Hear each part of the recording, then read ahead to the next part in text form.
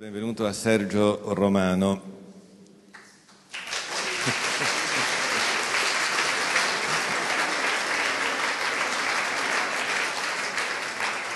Non potevamo a cent'anni dall'inizio della Prima Guerra Mondiale eh, evitare il tema dell'intreccio spesso velenoso tra guerre, eh, inganni e informazione, ma soprattutto non potevamo avere il nostro più, più, grande amico del nostro festival, quindi ridiamogli il benvenuto e lo sentiamo.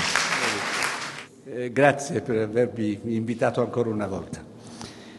Eh, quando conquistò il potere, dopo la rivoluzione bolscevica dell'ottobre 1917, il Partito Comunista trovò nelle cassaforti del governo zarista tutti i trattati segreti con cui la Francia, la Gran Bretagna, l'Italia, la Russia si erano accordati prima dello scoppio della Grande Guerra per spartirsi i frutti della vittoria. Naturalmente per il Partito Comunista questa fu una straordinaria vendemmia Quei trattati segreti furono rivelati al mondo, stampati sui giornali di, di tutto il pianeta e furono l'argomento di cui Lenin si valse per dimostrare che i paesi capitalisti erano ingordi e, e rapaci. Eh, nel caso dell'Italia furono note per l'appunto le condizioni che erano state stipulate a Londra nell'aprile del 1915 le condizioni che consentivano all'Italia di entrare in guerra. L'Italia aveva appartenuto alla Triplice Alleanza, quindi era alleata dell'Austria e della Germania, ma aveva proclamato la sua neutralità dopo l'inizio della guerra nell'agosto del 1914 e con ragione perché non era stata consultata. Comunque il, le condizioni per l'Italia erano il Trentino, il Trentino sarebbe divenuto italiano, il Trentino italiano, il Tirolo del Sud fino al Brennero, vale a dire fino alla frontiera naturale, eh, Trieste, le contee di Gorizia e di Gradisca e l'Istria eh, sino al Quarnaro più una parte importante della Dalmazia. Qualche settimana dopo, l'8 gennaio del 1918, il presidente americano Woodrow Wilson pronunciò un discorso al Senato degli Stati Uniti in cui ribadì i 14 punti di un documento che aveva scritto e pubblicato nel 1916. Questi 14 punti avrebbero dovuto regolare la convivenza internazionale eh, dopo la fine della guerra. Nel primo punto Wilson auspicava pubblici trattati stabiliti pubblicamente e dopo i quali non vi siano più in, eh, intese internazionali particolari di alcun genere, ma solo una diplomazia che proceda sempre francamente e in piena pubblicità. In altre parole stava dicendo a modo suo e con un accento fortemente democratico quello che stava dicendo Lenin al, a Pietrogrado, vale a dire che non bisognava più fare cose segrete, nascondendole alla pubblica opinione, lavorando dietro le spalle dei popoli. Quindi alla fine della Grande Guerra Lenin e Wilson, il dittatore del proletariato e il leader di una grande democrazia occidentale, avevano una stessa convinzione che il miglior modo per assicurare al mondo la pace fosse quello di trattare le questioni internazionali alla luce del sole, senza infingimenti, riserve mentali, reticenze, ambiguità e protocolli segreti.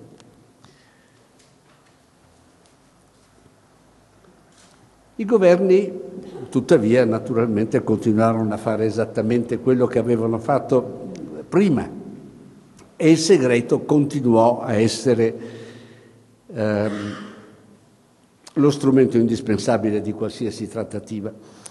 Ma tutti capirono che la pubblicità, dopo l'ingresso delle masse nell'arena politica, era ormai un idolo a cui bisognava tributare continuamente i dovuti omaggi.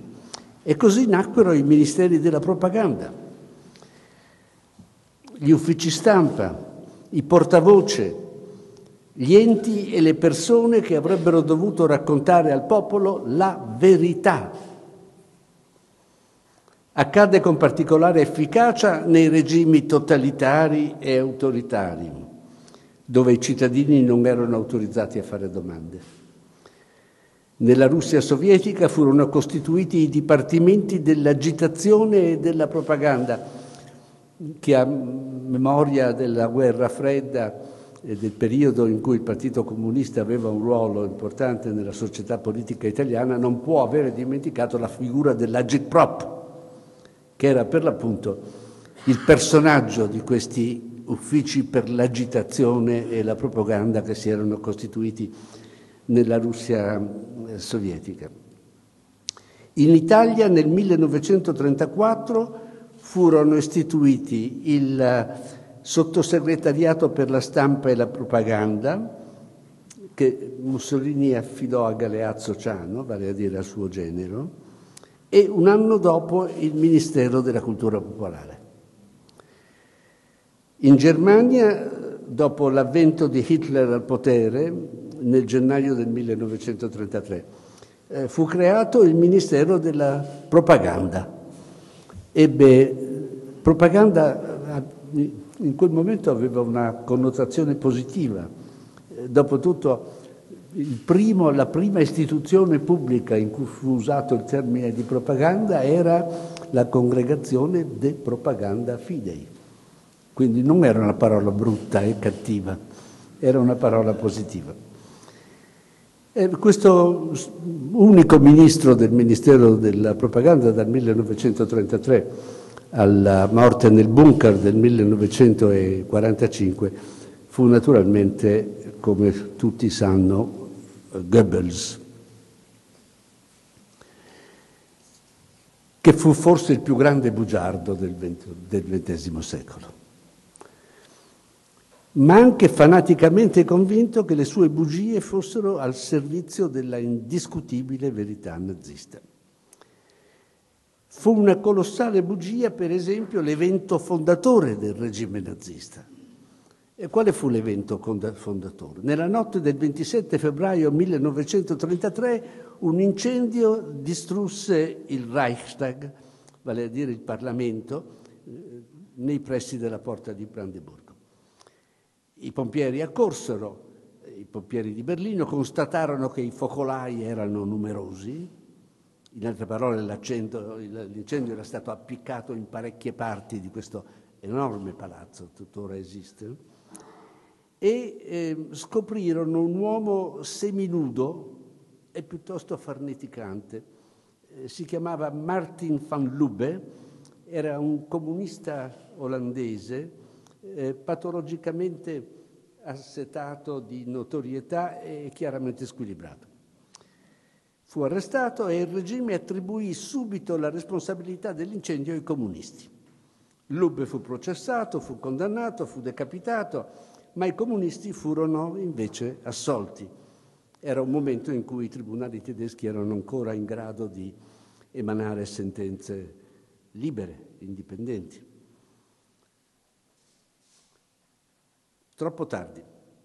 Hitler nel frattempo aveva fatto arrestare i leader del partito e aveva ottenuto dal presidente Hindenburg un decreto che gli conferiva i pieni poteri e gli permise così di sbarazzarsi di tutte le opposizioni.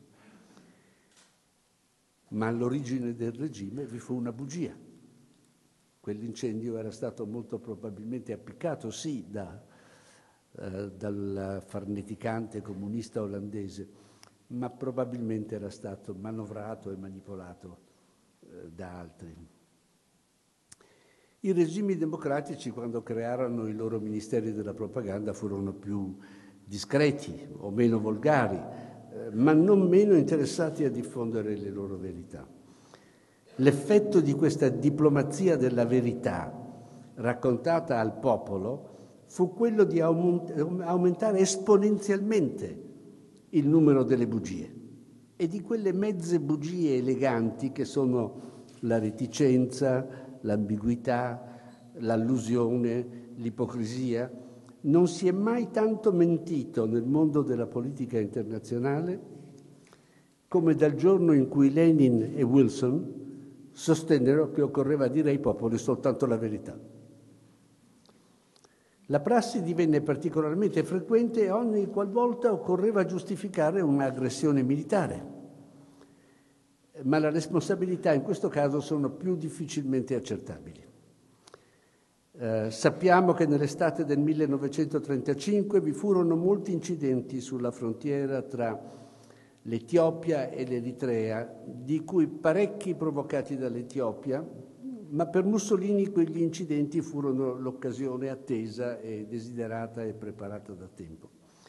Sappiamo che l'incidente fra le truppe cinesi e le truppe giapponesi sul ponte Marco Polo nel 1937 provocò un conflitto che sarebbe durato sino alla sconfitta del Giappone nel 1945 ma ciascuno dei due contendenti dichiarò di avere reagito a un'iniziativa dell'altro.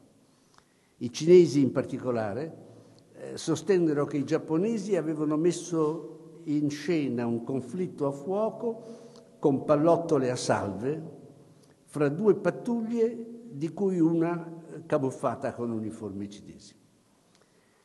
Non abbiamo dubbi invece sulla vicenda che dette inizio all'invasione tedesca della Polonia nel settembre 1939. L'incidente fu architettato da Heinrich, il capo delle SS e della Gestapo, eh, e prevedeva che un drappello di soldati vestiti con uniformi polacche si impadronisse di una piccola stazione radiofonica tedesca collocata al di qua del confine tedesco polacco, vale a dire in un ultimo lembo di territorio germanico prima della frontiera. Questi soldati vestiti con uniformi polacche dovevano impadronirsi della stazione e lanciare dai suoi eh, microfoni alcuni messaggi contro il Terzo Reich. Per eh, costituire questa pattuglia eh, di, eh, di, assalitori truccati eh, fu, le SS e la Gestapo ricorsero a qualche campo di criminali, c'erano anche i campi per i criminali veri, e, e furono scelti in particolare fra i prigionieri del campo di Dachau. Sul posto fu persino trovato il corpo di un tedesco della Slesia polacca, quella parte della Slesia che era diventata polacca alla fine della guerra, noto per i suoi sentimenti antinazisti. In altre parole, presero un polacco antitedesco, lo ammazzarono e lo fecero trovare lì come prova che erano stati i polacchi che avevano messo in scena questa, questa congiura.